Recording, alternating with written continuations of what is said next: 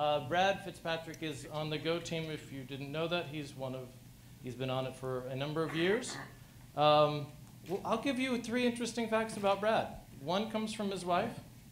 His first one is that Brad has a wife, who's here with us in the audience today, and What's he up, wife? proposed to her at uh, at the .go conference. Not at the conference. Well, he was in Paris for the Dot .go conference.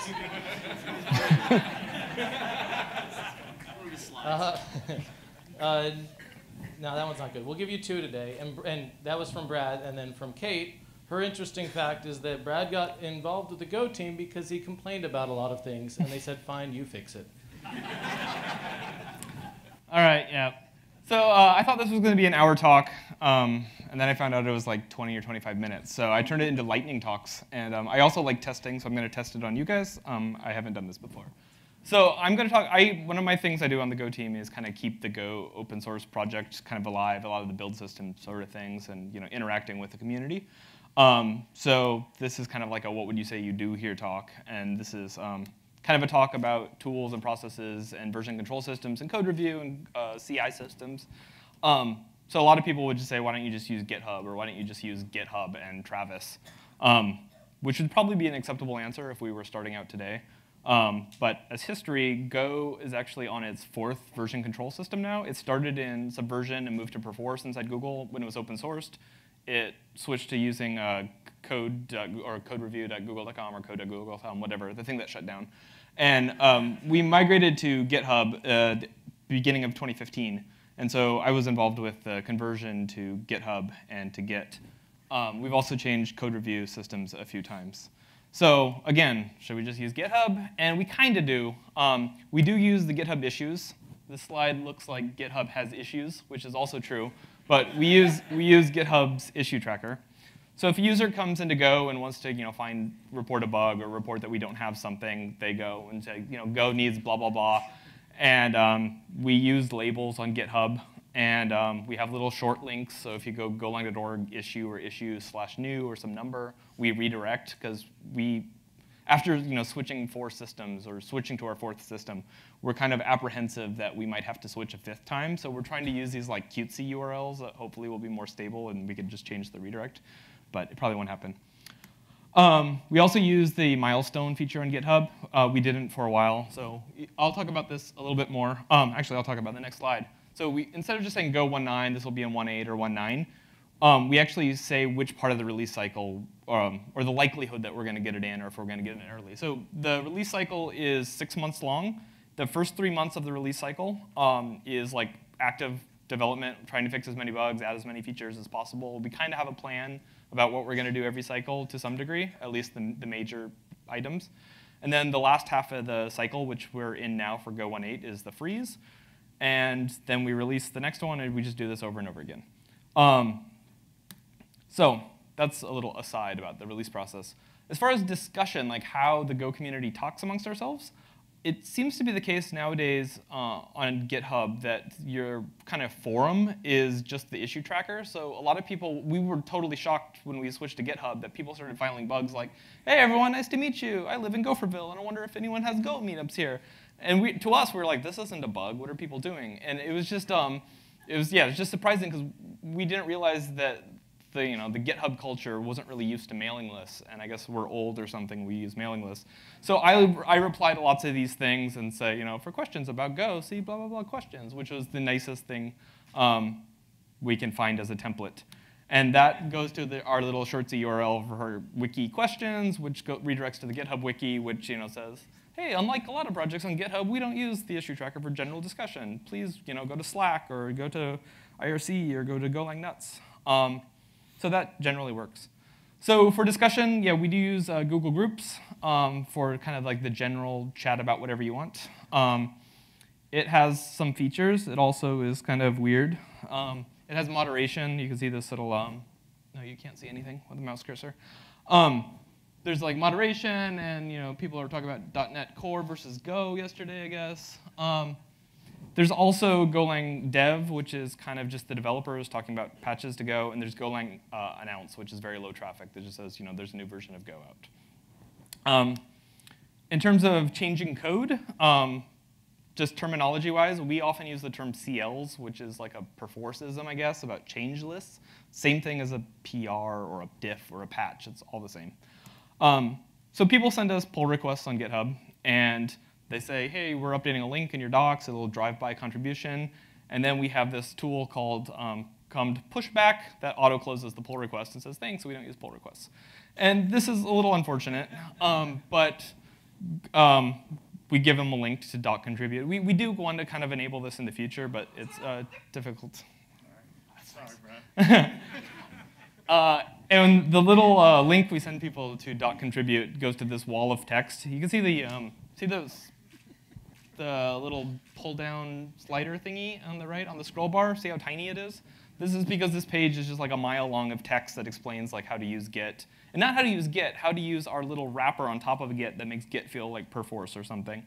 So a lot of people come to this and are really confused, but it really boils down to two steps, and which is sign Google CLA to make lawyers happy that says like, I retain the copyright to this, but I'm giving you permission to use it, and I promise I won't sue you for doing the thing I told you you could do already, basically. Um, it's very readable, but people don't like signing it. Um, but whatever, necessary evil. The next step uh, to send a code review is you just push whatever is in your, uh, your Git tree to uh, refs for master, which is a magic thing on our Git server that craps out something to like, you know, get standard error and tells you, here's your review, go do your code review there. Um, we have a tool to make this easier called Git Code Review that you can go get. And then instead of having to type, you know, this all the time, you want to like you're iterating on your code review, changing something, reacting to feedback from the, the reviewers, and then like sending it again. You can type this instead. So, whatever, makes it a little bit easier. Um, it does other things too, but like that's basically what it does. There's also uh, this other app we call uh, DevApp, which is a, a website that gives us kind of a lot of various dashboards about what's outstanding, code, uh, code reviews that are outstanding, bugs that are outstanding, proposals that are outstanding. Um, so we go there occasionally, um, like daily, constantly, and just reloading it and clicking things and doing code reviews. That takes us to Gerrit. Gerrit is our code review system.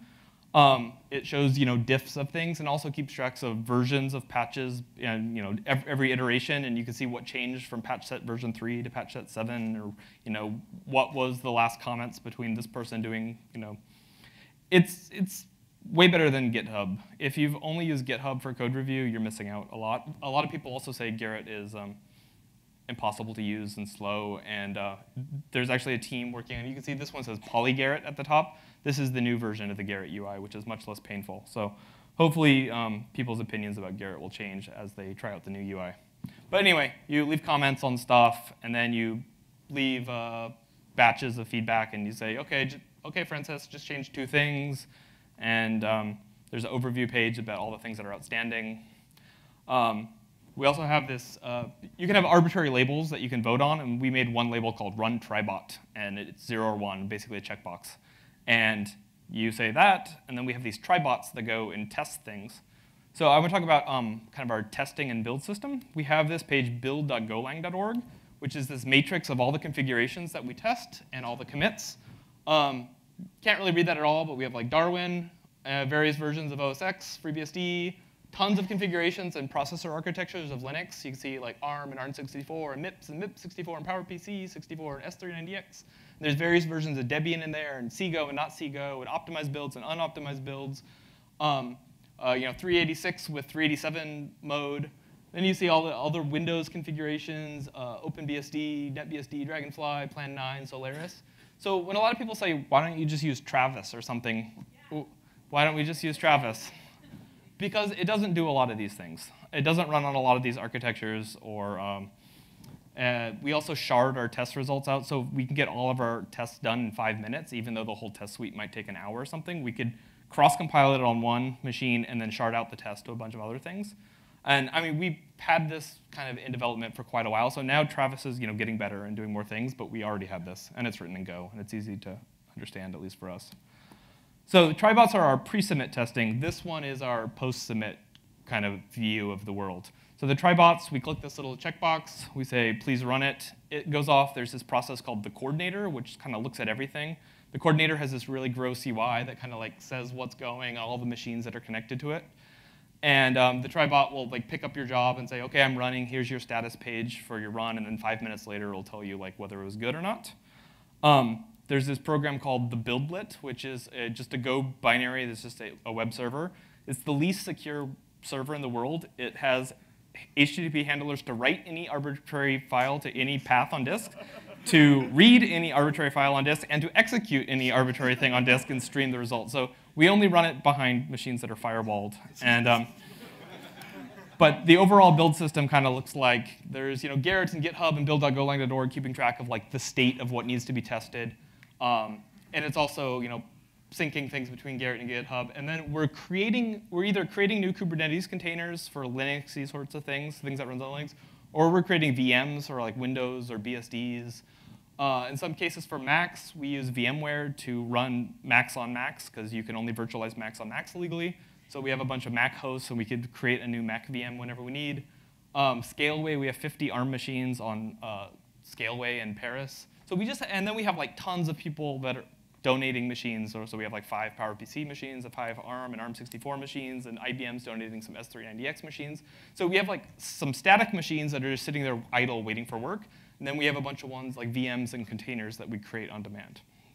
Um, we create some of these with, well, there's a tool called docker2boot that takes a Docker file, and instead of running your container in Docker, it takes a Docker file, builds the image, and then from the image creates a bootable VM that doesn't have Docker. And so we only use the Docker file part of Docker to describe a VM. We're kind of increasingly using uh, Kubernetes instead of this, but we use this for a long time. We also have this makemac command, which uh, creates the VMware uh, Mac instances. For debugging, sometimes you run the trybots and it says, okay, it passes everywhere but OpenBSD or Dragonfly BSD, and then you think, you know, what is Dragonfly BSD? And I don't have one of those. And um, so we have this tool called GoMote, and GoMote basically, it runs on your machine, and it connects to the coordinator and it says, hey, give me a, give me a something. And it will either create you a something or give you a connection to a something, but they all have the standard um, buildlet interface. So you can say, create me a uh, OSX 10.11, whatever cat that was, and you say, gomote, give me a Windows. And then you can run commands like gomote push to like push your whole local go root file system or whatever to it and synchronize it. And then you can like run commands and it streams uh, standard out and standard error and the exit code back to you. So it's, it's not quite a shell, and I kind of want to make it a shell that's more SSHy later, but for now it's better than nothing when you have to debug a system you don't have. Um, so eventually uh, you debug your problem on you know, whatever BSD, and it comes back and says, all right, trybots are happy. We hit the little plus two button in Gerrit, which enables a little submit button. You click the submit button. Now it's submitted on Gerrit, which is Gerrit is not only a Git server, but it's also a code review system. But it is our master in terms of Git. And so then we have to sync it to GitHub. And that's another thing that the coordinator does. One of its little functions in the background is watching Gerrit and seeing if new things are in Gerrit and syncing it there. And then that's the Gopherbot credentials it uses, so then Gopherbot closes the thing. Gopherbot is really like four or five programs that all are just called Gopherbot. So you can't actually go find the code for it.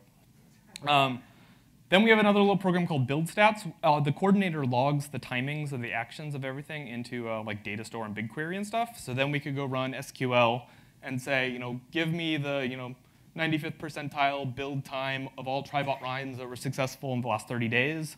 And then we could look and say, you know, what is being slow and what's slowing down our Trybot results. So you could say like, oh, it's, you know, the ARM machines and, and OpenBSD and stuff like that. So We've been using that to drill down into exactly what specific tests are slow and try to like speed up the overall build. Uh, sometimes we screw up a build configuration, like we just put on MIPS the other day and we had set some uh, environment variables wrong. So we turned on the, the MIPS machines and we just got a whole column of red saying fail, fail, fail, fail, fail, fail. Uh, so then we have a little command called retry builds that goes and clears things from the dashboard. You can match patterns. You can say get rid of this architecture, get rid of this column or this line or whatever. Um, we also have a tool called issue lock, which freezes old GitHub issues, because it's often the case that, um, I don't know where my slide for that was, but people get a bug from Go and they copy paste some things into Google, and Google finds an ancient GitHub issue from like two years ago. And then they start commenting on this closed issue, and no one replies to them because the GitHub issue is closed and we're not tracking it anymore. So that's kind of a sad uh, experience for users. So instead, we, we have Gopherbot lock the issue and say, add the label uh, frozen due to age or something. So then at least they'll file a new bug, and we can help them more. Um, oh, there's the picture of that. GopherBot frozen due to age. Um, in terms of documentation and releases, um, we have tip.golang.org and talks.golang.org. These actually are running a program that Andrew and I um, hacked up during a YouTube video live.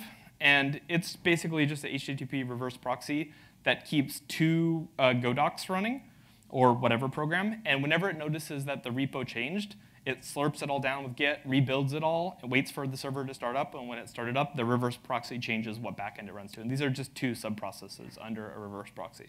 So we use that for um, tip.golang and talks.golang. There's also godoc.org, which um, is a thing. And I'm for, I've never touched this code, and I don't want to because once I touch it at all, I'll be responsible for life. So I, I don't actually know who maintains it right now. Um, I think uh, Steve wants to touch it, and he's welcome to touch it. Um, he's, he's shaking his head. Okay, he's going to rescind all that. Um, there's also another tool we use for when making release called an xbuild command release. And basically, it's, it speaks the same gomote interface, like give me a machine of all these types. And it basically runs the build, but then it also pushes some extra crap, like the MSI installers for Windows or the whatever the PKG file clicky clicky thing for uh, Mac is, and uh, makes those release artifacts. Um, and then we have another tool. It actually, as part of release, after we've like we're happy with it, it uploads it to golang.org/dl, which is a little web app which you know shows you your downloads and shows you um, all these things like the checksums and stuff. So that's a little web app. Uh, other miscellaneous tool that we kind of use at the end of a release is something called Update AC. This is only run inside Google because it has to talk to internal Google services, the, namely the uh, CLA, the Contributor License Agreement server, and say like, for this given commit, in the Go repo with you know given email address, who owns the copyright on this code? Is it the individual or the, company or the individual's company? And then we update the author's files and contributors files. Um, we don't strictly really need to do that, but it's nice to like have a list to say who the authors are and who the contributors are, if for people who don't like, I guess, look at the Git history. Um, in terms of uh, meetings and other process, we have kind of regular proposal review meetings where we sit down and kind of force ourselves to look at all the pending uh, proposals, um, which seem to come in quite a bit lately. Um, before we had this, everyone kind of just hoped somebody else would close the proposals, and it never happened. So now we kind of force ourselves to get into a room. And then we also, at the end of, during the freezes, we have kind of weekly or biweekly, uh, uh, like Go 1.8 release meetings, and we just go over the open bug list from that dev app I showed earlier, and just make sure that everyone understands like what who's owns what and if things are mysterious or not. But um, that's kind of an overview of uh, the tools we use the most. I'm sure there's ones I forgot, but anyway, that's all. Thanks.